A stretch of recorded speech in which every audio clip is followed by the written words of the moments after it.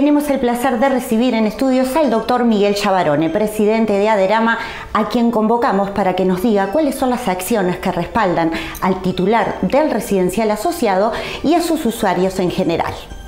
La toma de decisión a la hora de institucionalizar a una persona es difícil tanto para la persona adulta mayor como para la familia.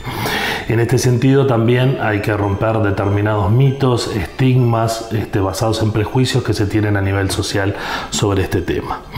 Es por eso que entiendo que desde Aderama tenemos que salir a justamente a romper estos prejuicios y sobre todo el prejuicio del residencial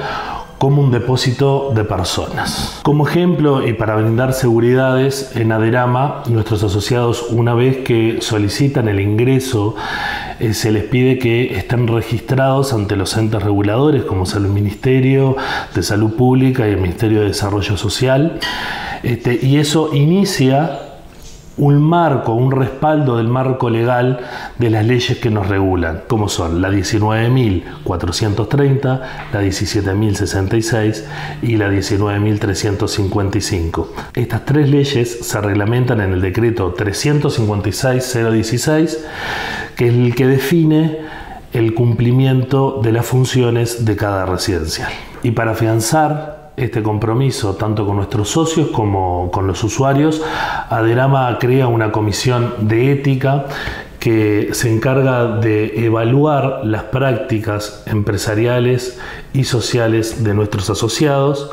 brindando así mayor seguridad.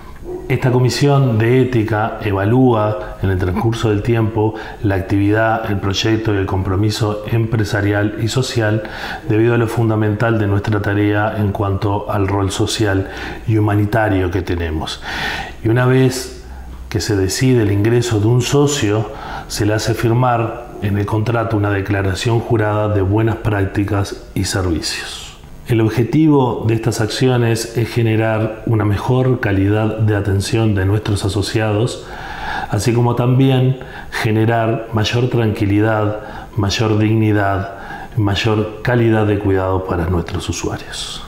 Es con todas estas acciones y otras más que desde la directiva de Aderama salimos a desmitificar lo que hablamos antes de los prejuicios que tiene la sociedad con el tema de residenciales y que quede en boca de todos el residencial como una opción valedera a la hora de los cuidados de las personas del adulto mayor.